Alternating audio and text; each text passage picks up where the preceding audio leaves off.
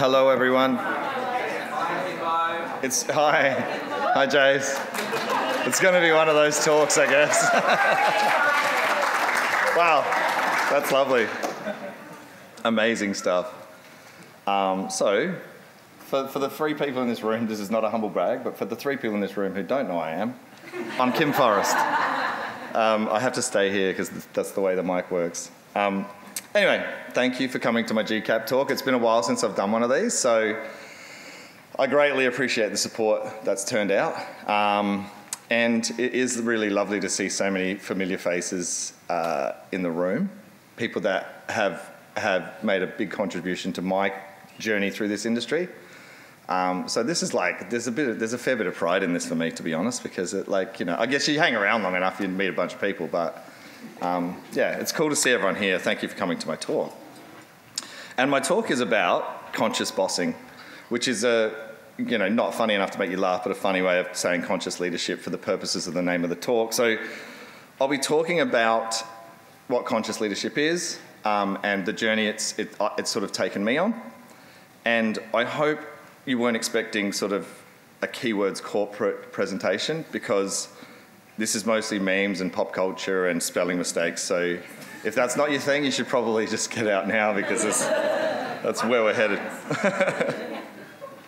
uh, I would like to start by acknowledging the traditional custodians of the land on which we gather today, of course, the Wurundjeri people. Uh, pay my respects to the Aboriginal and Torres Strait Islander people, the elders, um, past, present, emerging, emerging. I'd also like to pay respects to the Kaurna people um, of the South Australian region, which is where we get the privilege, they, they, are the traditional custodians of the land on which we get the privilege of making our games at Tantalus South. So I just thought I'd start by recognising that. So, what am I talking about today? It's a little bit of my background, we'll start with that. I won't go too long on that. The feedback I got on the first time I gave this talk was that it was way too much about me, so I'll try and get through that quickly. Um, and a little bit about why you should care about what I'm saying. Hopefully you do care. I can't force you to care, but I really hope you do, because this means a lot to me, this stuff. We'll talk about what conscious bossing is, why it's important to me, as I said, the virtues and values of what conscious leadership is. We'll talk about some of the challenges that it can bring with it, um, and how you can become a conscious leader or a conscious team member. Because I think it feels like this talk is aimed at leadership, people in leadership, or people looking to get into leadership, but it's really not. It, it covers a lot of beha- behaviors around how you can be a good conscious team member and how you can make, be part of making a better team. So hopefully I land that trick for you. Um, and then I'll wrap up with some questions if I don't burn the clock, which I almost certainly will. Uh, I would like to add some of this is a little bit difficult to talk about at GCAP because I, I do tell a few anecdotes of like stuff that's happened along my journey. Um, and it does sort of, in, it probably involves either people in this room or people that know people outside this room. So please don't take that as an attack. This is, it's like those, those anecdotes that I tell are about learning and how I've learned to be better based on some of the mistakes I was involved in or experienced. It's not a bitch session. so, I mean, some of you might enjoy that bit of it, sure, fine, whatever. Who is this guy and why should I care? I hear everybody asking, which is a valid question. So, I'm Kim Forrest. I am the fortunate and hardworking and lovable and extremely modest head at Tantalus South in Adelaide. Um, lots of you know me as Kimbo, which is my preferred moniker, but as I've gone higher up the chain of uh, management, people feel less comfortable calling me that. So lots of people call me Kim these days as well. Anyway, as you can see, I'm not an artist. Um, I've always lived this way with terrible looking slides. Uh, but Jason Tam managed to make this one actually shine a little bit. This is the best set of slides. For an insight into my history, this is the best looking set of slides I've ever done that's really been put together by myself. So I'm kind of proud of that too. But thanks to Jason for the help there. Um, so I started out at Ratbag Games in Adelaide back in the year 2000, which, which feels like a long time ago. Uh, I worked at Krome Studios in Adelaide and in Melbourne and then helped out with the Brisbane stuff as well. I worked for Six Foot Kid, which was a Halfbrick studio. Uh, I worked at Mighty Kingdom for a long time and now I'm the blessed uh, head of Tantalus South, which is which is the best job I've ever had at games, but you know that's not saying much because they've all been pretty good. Like it's been a pretty good run for me. Um, but it is an incredible opportunity at Tantalus South because I get to do it in the city that I love, which is Adelaide, with a very trusted team that I've been allowed to build around me, with the support of the, the incredible work that Tantalus did before us and Wicked Workshop, and that we're, we're building on something that's like really part of the, the Australian game development fabric, which is really proud for me as well. Um, and remember, though, this is this is a presentation from me.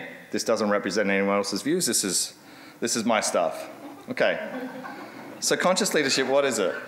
It's a concept that's been around for a long time, and it's a well-established concept. It's really strong. It's really a valid concept that's evolved over many years from a different, a bunch of different types of leadership. Um, and really, what it is, the, the, the core parts of it are about being present in every interaction you have with the team. Um, recognizing and acknowledging, acknowledging your own behaviors, like being good at self assessment as much as you can. Um, encouraging growth within the team, delegating within the team to build that to build out that trust and growth and let the team learn from their own mistakes and things like that. It's about using care and love um, and behaviours related to that in a professional sense. Thank you so much. Um, it's fine. It's fine. Thank you. I do need water. Um, yeah, it's about care of love, and, and that helps to create a really functioning, high functioning team and environment for your team to function within. This is seamless, this bit. Um, thank you, team, for the water. That's very nice of you. Um, so there's similar forms of this, this sort of leadership. This sort of leadership sort of landed in 2000 when a bunch of American companies realized that the, the hierarchical, like, boss and subordinate vibe wasn't really getting the results that they were hoping for. So this sort of evolved out of that. But the original version of this was servant was called servant leadership, um, which was around from the 70s, and it, and it says what it is there, right? It's about servicing your team to, to get somewhere, and you'll see that right throughout the talk. Um, and, and that was actually part of a religious movement, but then moved into business and, and proved to be really successful. And then transformational, authentic leadership, a few other different forms started to revolve around that. This is my version of conscious, and it has a little bit of it has a little bit of all of those in it. What you're about to hear, and like talking on the Tuesday, your voice is already gone. Makes it harder. So this is one of my favourite fictional conscious leaders. I'm a huge Ted Lasso fan, and that that quote there um, is really poignant when it comes to what conscious leadership is about. It's a, it is about being curious and not judgmental. Um, and that is like really why I love to lead in a conscious way. Um, and the reason I the reason I got into games was because I love games. But what I really realized was that I loved working with games teams, watching people thrive and and and just be their best selves. And I believe that conscious leadership allows me to live this life professionally every day when I get it right.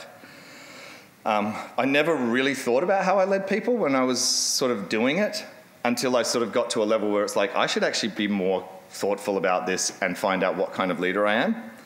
Um, so I started to research it like about two years ago. And for all these years, it turns out that I've been, a, I've been leading creative teams with conscious leadership, a, a, a concept that's it's relatively new, but I happen to be doing it for 20 years. And, and, and that's because like the values of it are a core part of who I am. And this will sound, this talk might be a bit, feel a bit preachy, but this is really about me sort of pushing out there, like this is how I think it should be done. If you agree, try and learn this way. I mean, I think I'm preaching to the choir here a fair bit anyway, um, but it's definitely, it's definitely a huge part of how I go about things in my day-to-day interaction with people. But this is just one version of leadership. There's a bunch of others that you should check out too. This is another one of my favourite fictional conscious leaders. And that quote really sums up my life. Um, I don't think I'd be around without being helped from in lots of parts of my life. So I really love the way that Luffy goes about things, and that, that quote is really poignant, I think. Um, yeah, so conscious leadership, it allows me to build relationships, it allows me to build momentum and pull people together to push in a collective uh, direction towards a goal. And really, the, the, my favorite thing about it is it allows me to set people up for success by seeing them use their expertise to solve hard problems. Um, and it leverages this following statement, which I think is really great. History has taught us that this is the way we do it, is a philosophy set in a tradition of failure. So again, that speaks to that be curious, not judgmental. Go and find answers because the answer you have, it could be the right one, but there might be a better one. And the way you did it last time, it might have worked, but might, there might be a better one. And really, what it speaks to is that idea that we don't have the answers yet, but we can go and find them.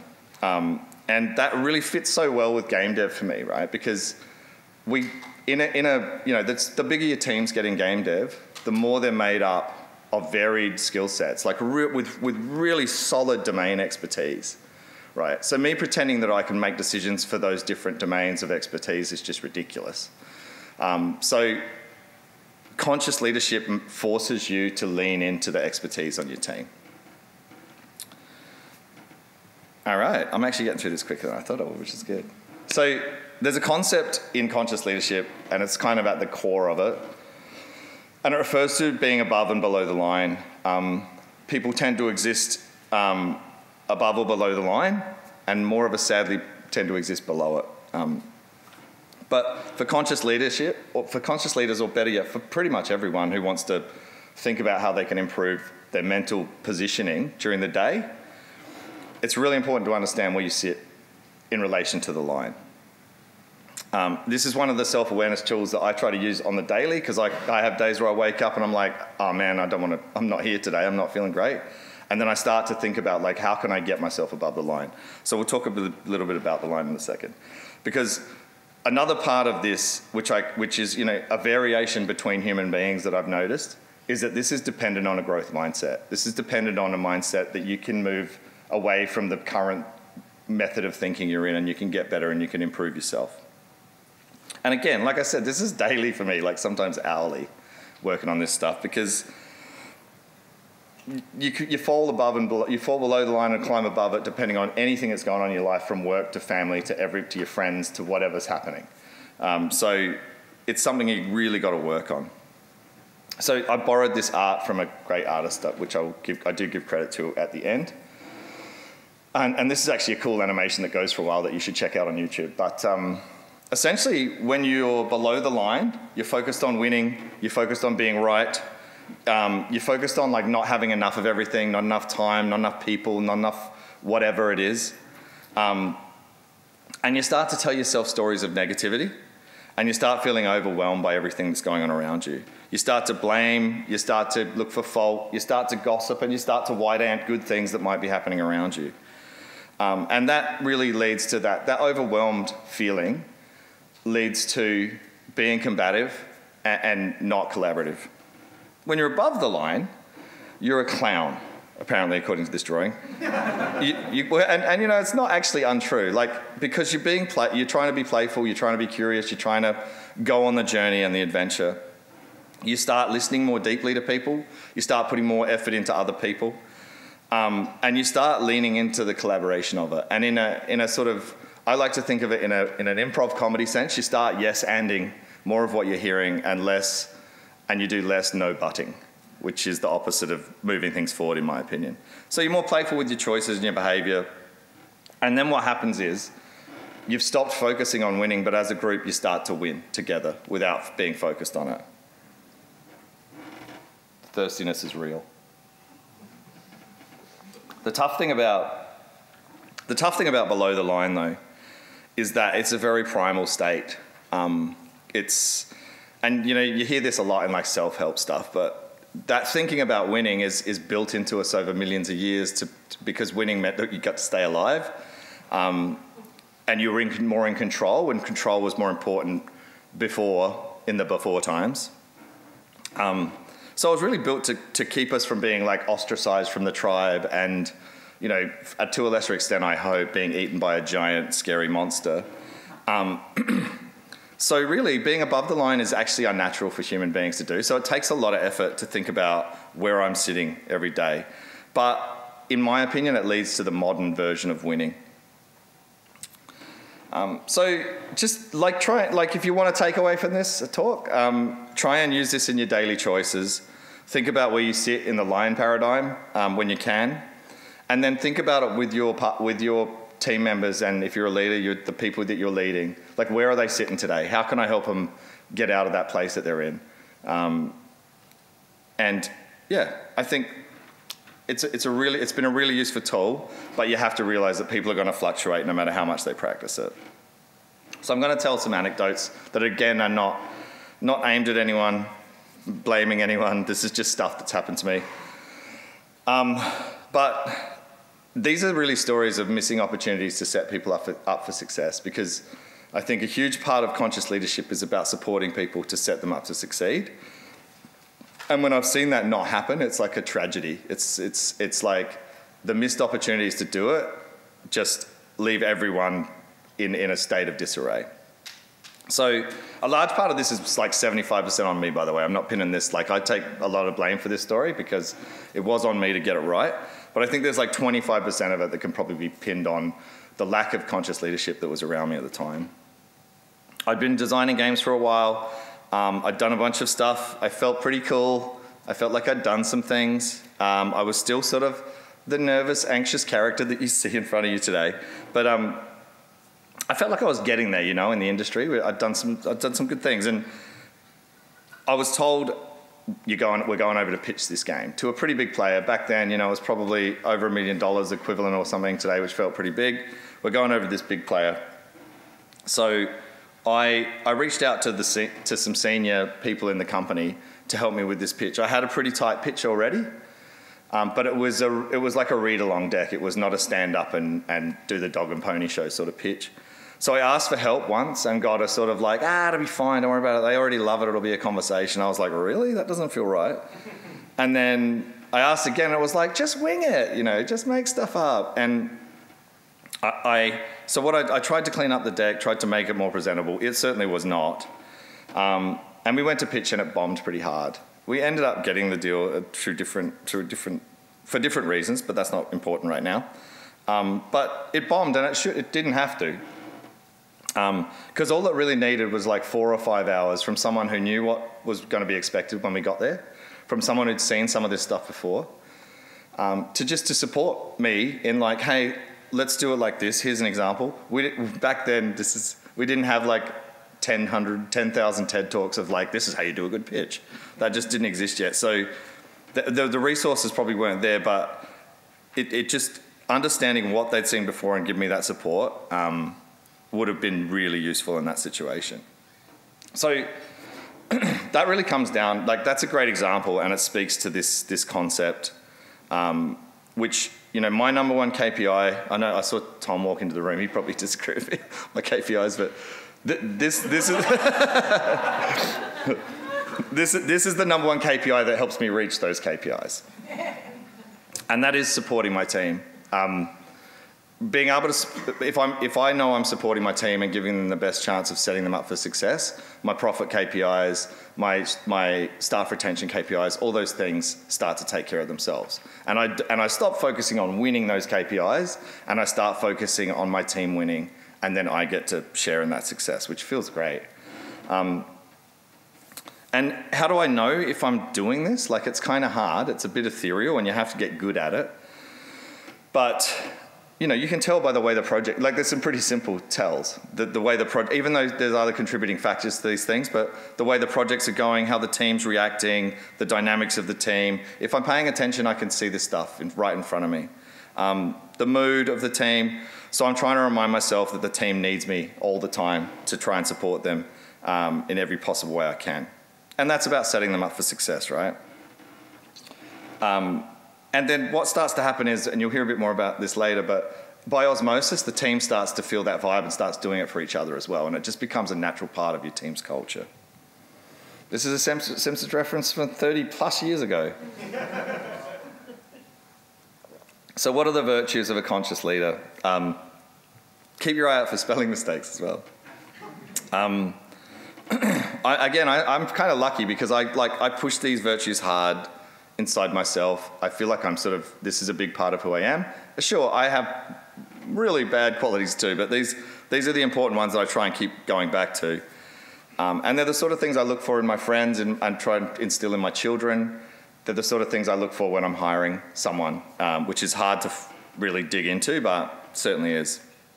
Yeah, I try to live these day to day.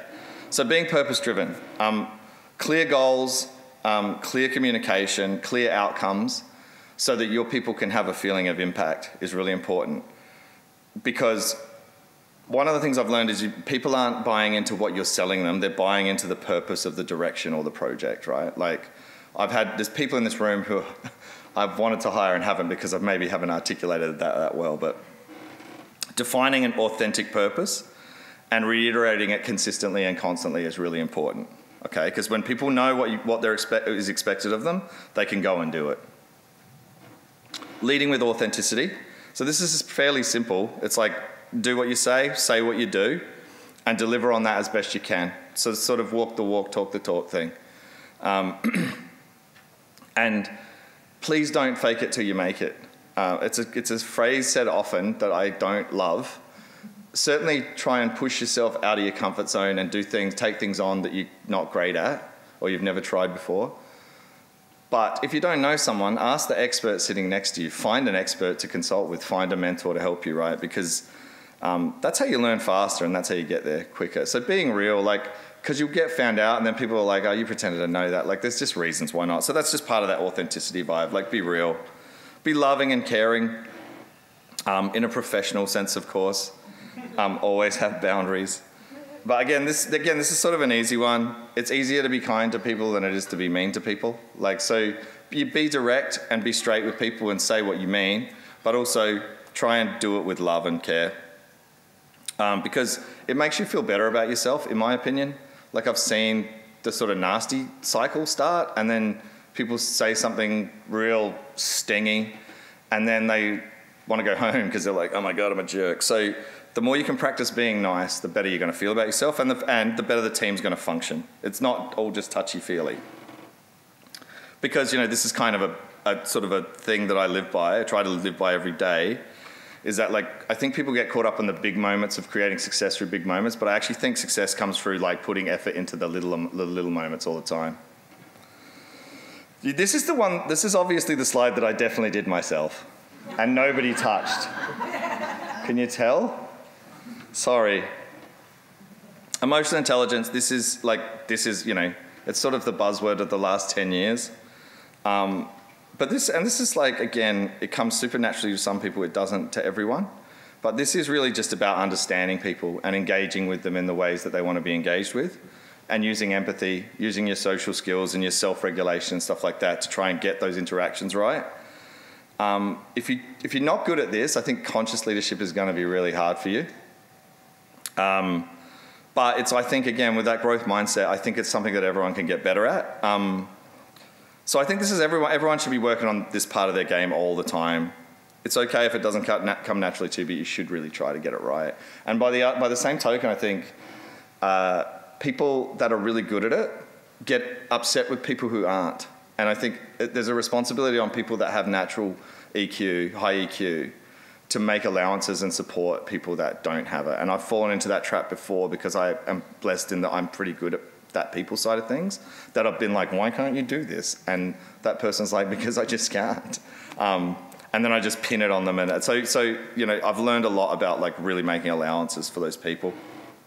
Um, and one of the thing, one of the reasons I think that um, emo- emotional intelligence is so important is because video game development creates crisis a little bit, right? I'm sure everyone's felt it. And I think, I think during a crisis, uh, the ability to have a cool head and to be able to understand when people are losing theirs is really important. So I think that's a really important part of, of good leadership, conscious leadership. Being service oriented, like I'll just I'll skip past this pretty quick. This is about just delivering on the things you say you're going to do, setting people up for success, serving their needs to be able to allow them to be able to do their jobs, and again, what that allows them to do best is not worry about the little problems that you can solve or other people supporting them can solve, and allows them to take their domain expertise and execute regularly and consistently against the things you need them to do, and they're not wasting their time. Also, in games, I've noticed when people get distracted by those things and they're not operating in their domain of expertise, you start to lose their motivation. So, if you can avoid that by, by providing a service as a manager, I highly recommend it throat fading. Integrity, kind of authenticity as well, kind of aligned, I think.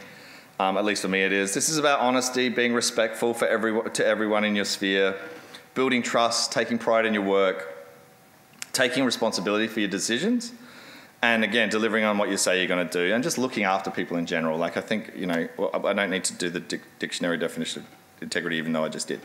Um, but this, this does actually, this, this uh, requires like a deprioritization of the self and, and like a letting go of your ego because you're, putting, you, you're starting to look at putting people in front of you, um, which can be hard to do.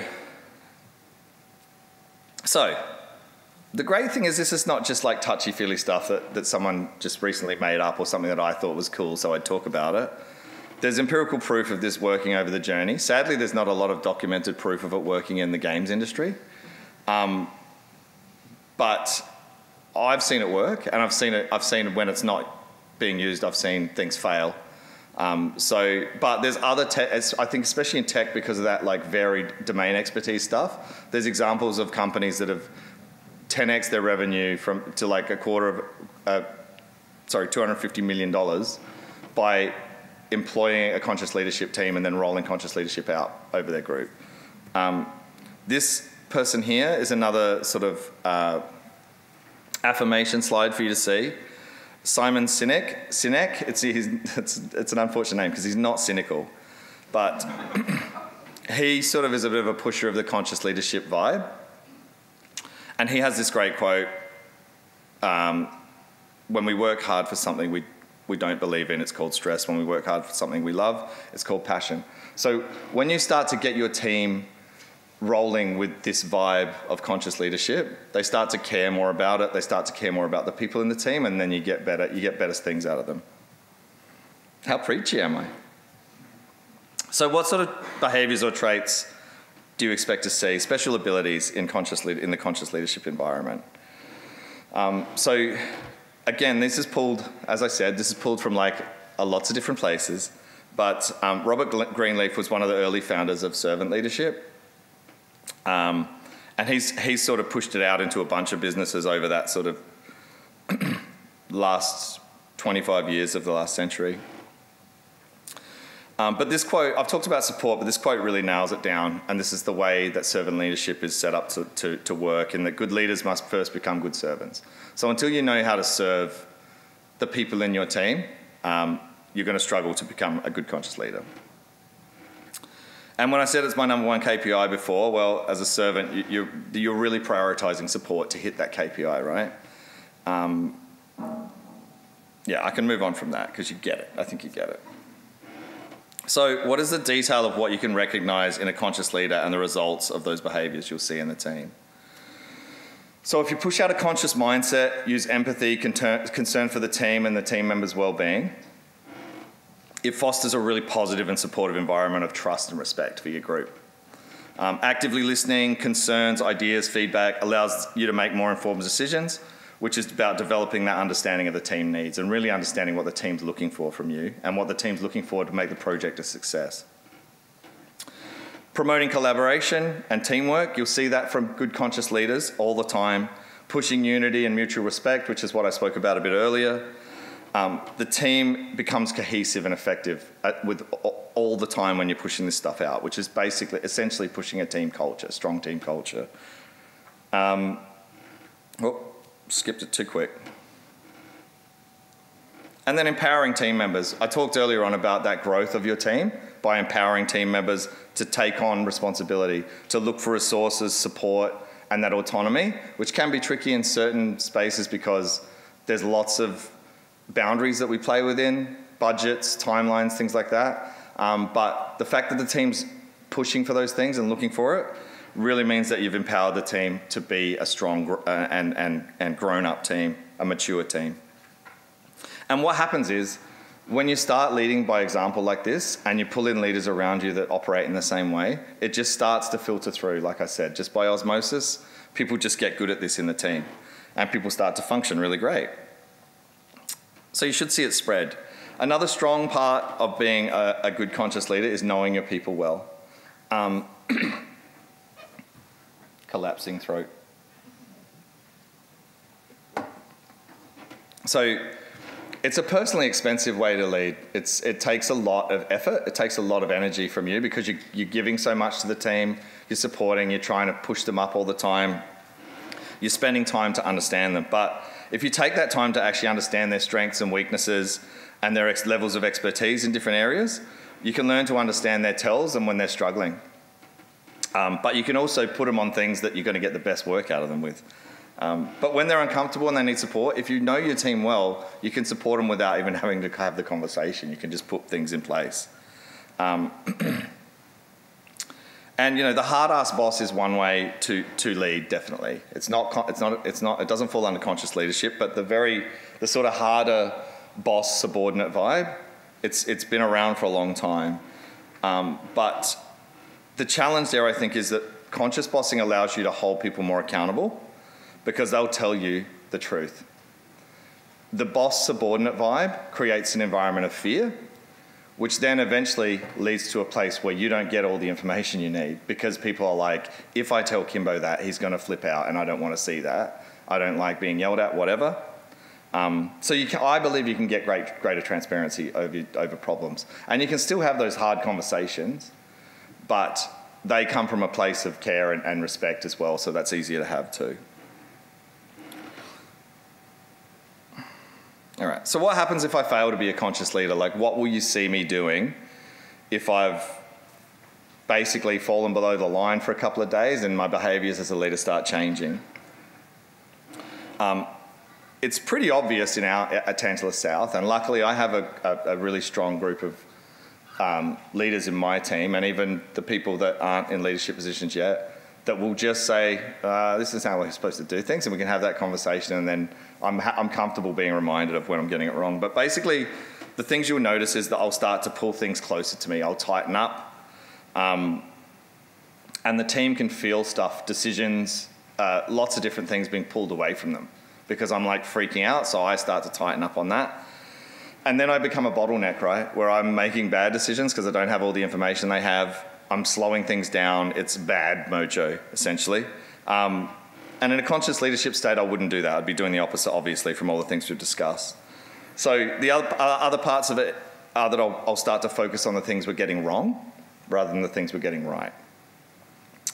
Um, and essentially, people feel bad, and so do I, and it just it just slows production down. Essentially, um, is my experience with the, the teams I've operated in this way with you could everyone become I become divisive I, I become judgy and I start criticizing things I'll blame things and the team starts to do that stuff too. And essentially what I describe that is it's like you start to try and just take control right? You try and control everything. And control is just control is an absolutely imaginary idea in my, I, I believe. Like the thought that we're controlling much ourselves is pretty it's pretty unrealistic. Um, all right so now a couple of totally hypothetical things that have happened in a galaxy far, far away that have nothing to do with me or anyone in this room.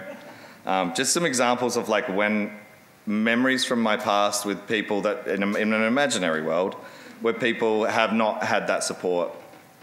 So, and the pitching, pitching's been a big part of my life, so I've seen a lot of pitching. So this probably happened somewhere. Um, the pitch was really good. It was done. It felt tight. Um, you know, a, few, a little a team had been on it, designers, artists, a producer.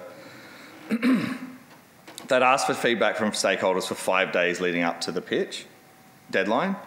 And then 16 hours away from delivery in the early hours of the morning before the close of business of the deadline, sweeping changes of feedback came through on the deck.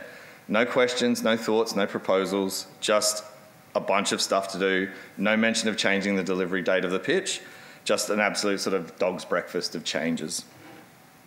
Um, and you know, you'd think this would be obvious, and it probably is to most people in this room, but the sort of five key things that that person could have done to, to stop the absolute disaster that ensued after this was to find time to prioritize the feedback if you're going to give it at all. Like, as a leader, if you want to give feedback, make it timely and make it on target.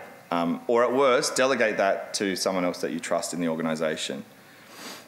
And I would argue also deliver a better brief because if there's that many changes, put more time into what you want the five days before the team starts. Um, don't send feedback in the middle of the night. That's like a really rude thing to send to your team, and it's upsetting for them.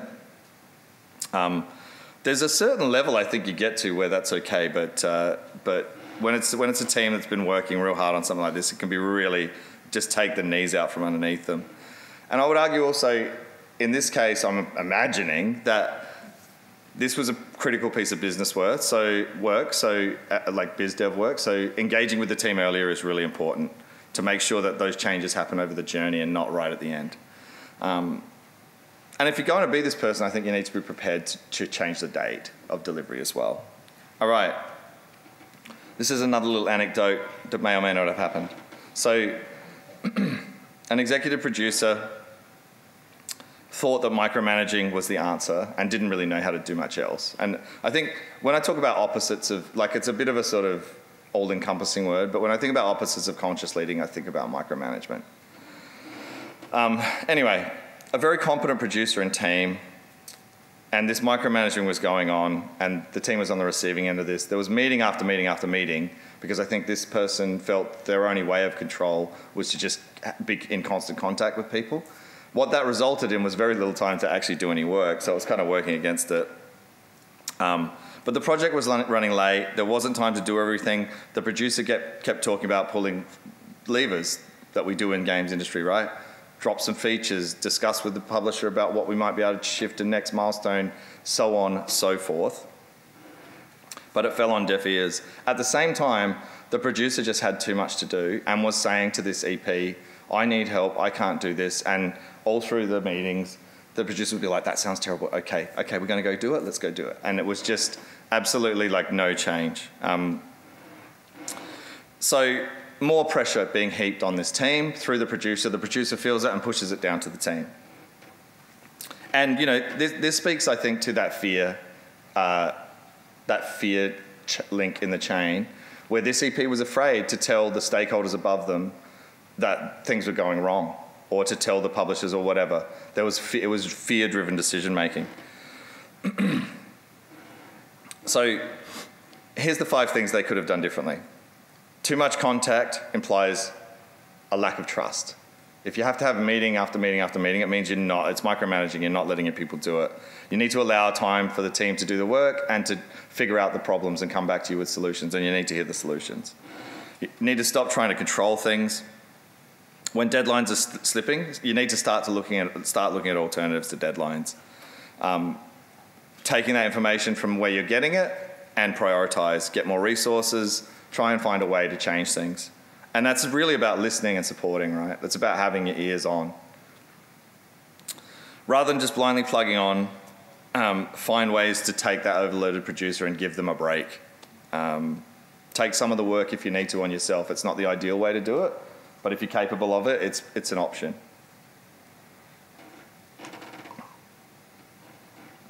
Be transparent with stakeholders. Like the, the worst moments in my career really have been when I've, when I've been not honest and as early as possible had the discussion with a stakeholder about a problem.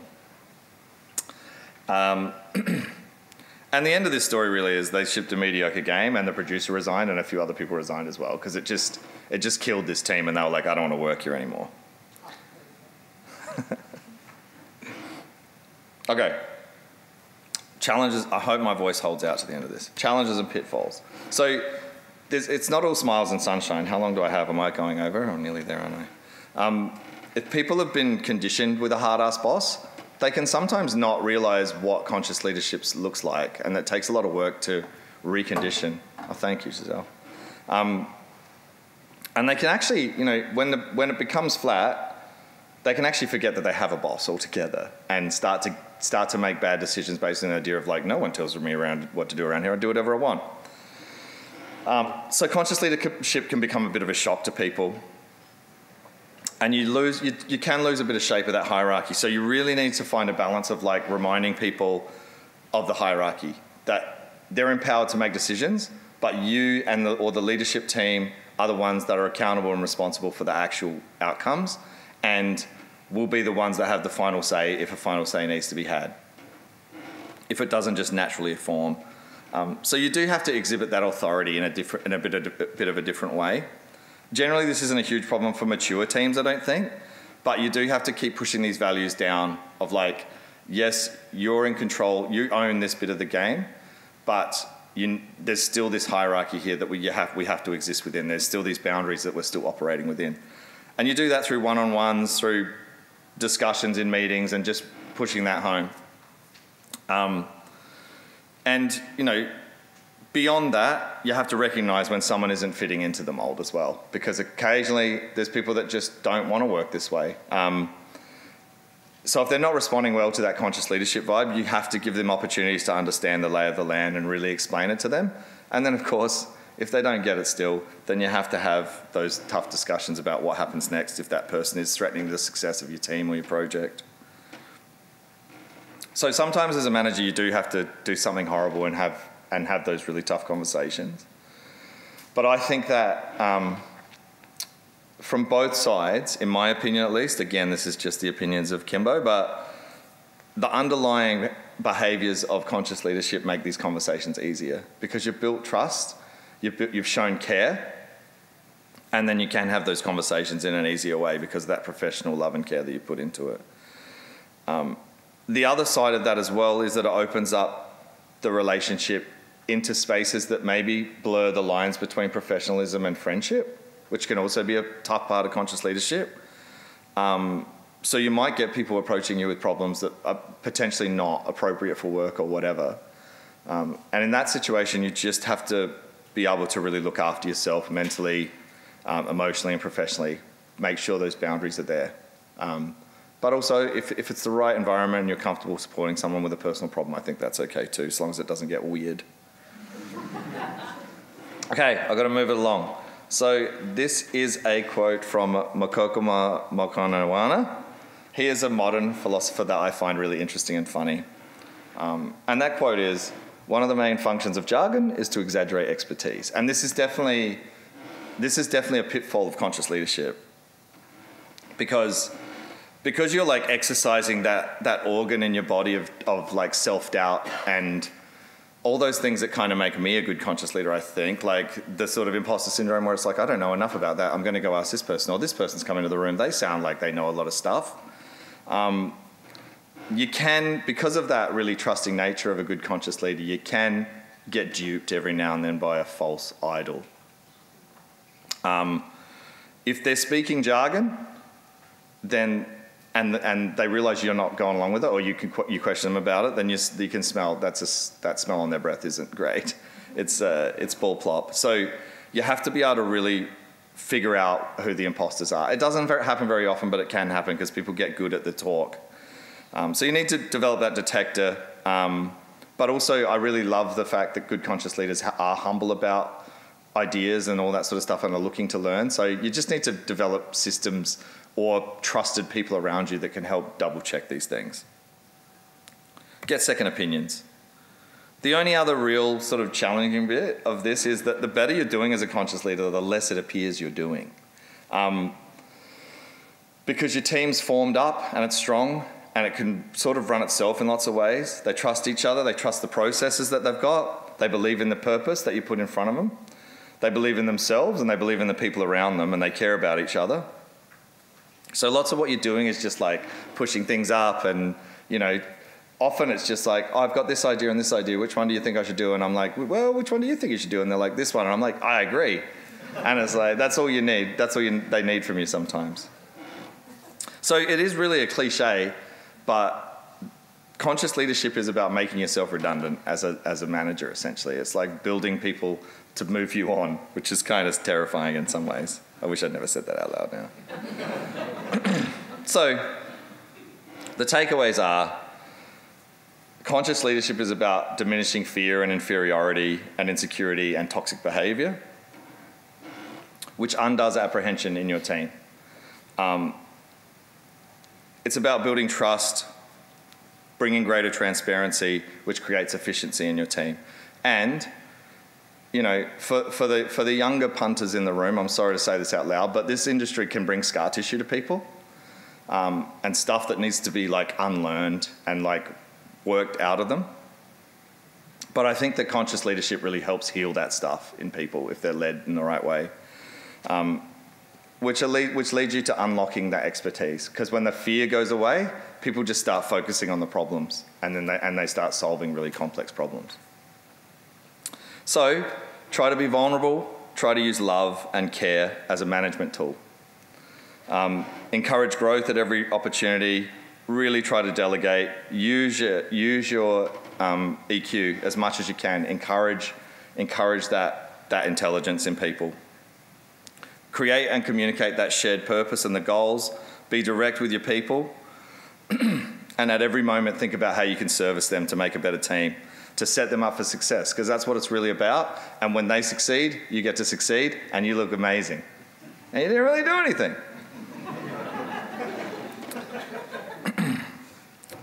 do the things you can do daily, which is like, where am I on the line? How am I feeling about this? Wake yourself up in the morning and go, I feel terrible. Um, by lunchtime, I'm going to try and get above the line and think differently about how today's going to go. Because what this allows us to do is lubricate the wheels of progress, which everyone hates me saying, but it's my favorite saying. and um, it does. It allows you to. It, it, allows you to move things forward in a really cool way, where people feel great about the things they're doing every day. They feel like they're having impact, and so do you. And the final thought I'll leave you with on that is that to remember that conscious leadership is not passive, it's not altruistic, and it's not permissive. It's inclusive and wise. And those two words are really important when it comes to conscious leadership. Inclusivity and using wisdom um, are really part of what you've got to do. All types of wisdom. All right, these are my sources, which you can probably see on the video, or I can send you some links if you're really keen. And that's it. And I reckon we've got like three, two minutes for questions, but I'll be around for today and tomorrow if you want to catch up with me as well.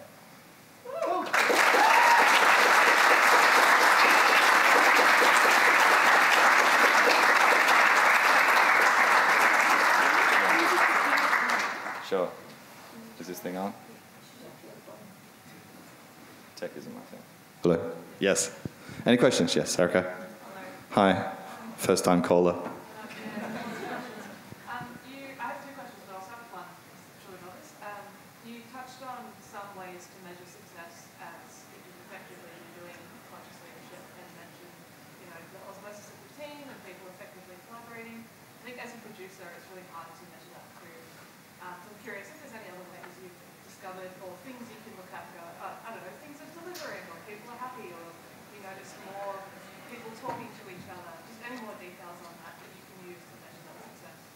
Yeah, I think that that's a really good question. I think that um, there's like pretty much everything going on around you in the studio. Ah, did everyone hear that question? I don't know if I can repeat it. It was a long boy. um, like, how, like, what are the other ways you can measure success? Sorry, Sarah, I shouldn't tease. Um, pretty much everything going on around you in the studio is probably an indicator, but I think, I think that's where, depending on team size, I think that's where other good having other good uh, barometer, human barometers around you to be able to read problems and report back to you, and running one-on-ones and things like that. But you know, for Tantalus South, we have a we have a two days at home, three days in the studio ideal policy. And you know, I think you can start to see, oh, when people do a few more work from home days, maybe that's slipping there. I try and use every little measure, but especially, you know, how the project's going, how the interactions between the teams look in in daily stand-ups, like like hardcore emotional intelligence, being able to read people is a big part of it. Which is why I did say, if you're not good at that, conscious leadership is harder. Because without conscious leadership, you can just tell everyone what to do and hope that they do it. And if they don't, yell at them. But with conscious leadership, it's a lot more nuanced, I think. I hope that helps. Yes. How do you deal with remote workers where you can't be around their energy or notice that they're like slowly dipping below the line? Um, that's next question. um, that's tough. Uh, because it is it's like a new it's it's the new normal right like it ain't going away i don't think especially in this industry because one of the advantages you get from it is that you get to bring talent into your team that's not necessarily in your city um, but I think again, this this comes down to like like I said before, it's an expensive way to manage. Um, it takes a lot of your time. It takes a lot of the time of the leaders around you. So really, it takes effort to check in with them. I think some of the things we try to do is like a, a morning and then an after a morning team stand up, like no no must happen, and then in the afternoon people are checking in at least once again. Um, but yeah, it's it's I, I, I sadly I can't tell you exactly how to do that because it is a really tough problem, and I do know that some people thrive on that remoteness and some people just don't don't cope well with it. So it's yeah, it's a tough one. But I think it's about contact, which is costly but valuable. Yes. Hi. Um, earlier in the talk, you talked about one of the things that was an aspect of being below the line was gossip. I don't know if you've like heard of a podcast called Normal Gossip, but there's this idea that like talking about things in a frank and safe environment is actually a positive. So I was wondering if you have any thoughts about gossip or like how to have those frank conversations in a way that's healthy, or maybe you disagree with the whole premise entirely. No, I don't. Uh, so that that question was about like, is all gossip bad? Essentially, it was like there's some good gossip, and I think, you know, Jason Imms here is a is a big proponent of venting. You know, which is you know which can which can be misconstrued as like evil. Um, especially for a manager, because generally it probably involves the manager or something related to a decision a manager's made or whatever. So, and I don't. I think it's. I think it's a healthy thing. I think the gossip I was talking about was more like really trying to, you know, more sustained and endemic, and trying to turn things against the direction of where things are going, and that sort of white ant, like consistent white anting of ideas or a person.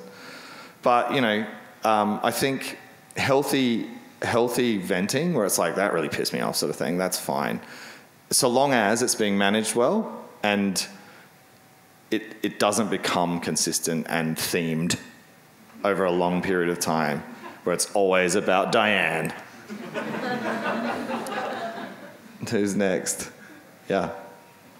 Hello. Um, so do you find that this type of leadership is motivated by the leader or by the people in the team? Do, is this is this leadership motivated mo, motivated by the leader or the people on the team? Um, I wish I had like a straight answer for you on that because I think I actually think that it depends on the team, which is a bit of a cop out, but.